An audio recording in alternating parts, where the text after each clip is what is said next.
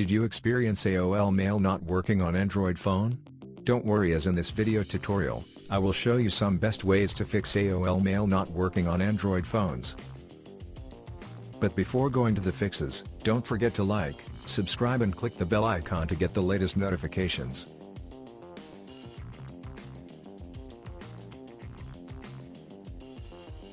Method 1, restart your Android device.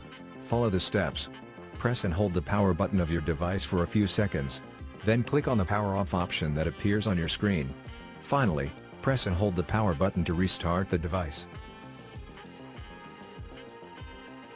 Method 2, Force Stop AOL app. Follow the steps. First, open settings on your Android phone. Now, go to Apps or App Management. Scroll down and select the AOL app from the app list.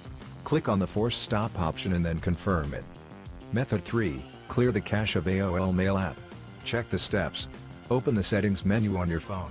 Now, move on to the apps option. Next, choose AOL Mail. Finally, click on the clear cache option. Method 4, update AOL Mail app. First, open Google Play Store. Now, click on Profile icon. Then, click on Manage Apps and Device. Thereafter, click on the Updates Available option and find the AOL app.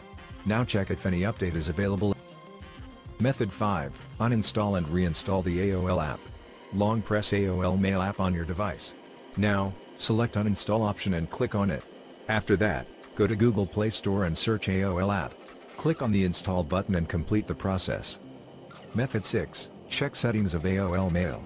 Check whether you have properly set up your AOL Mail. Incoming mail server, pop.aol.com. Incoming port number, 995. Security, SSL. Outgoing mail server, smtp.aol.com. Outgoing port number, 465. Security, SSL. Method 7, contact customer support. The last option you have is to contact the AOL customer support team. They will guide you on how to overcome this issue. Explain to them about the error and the support team will check and solve it. Method 8, use a professional tool.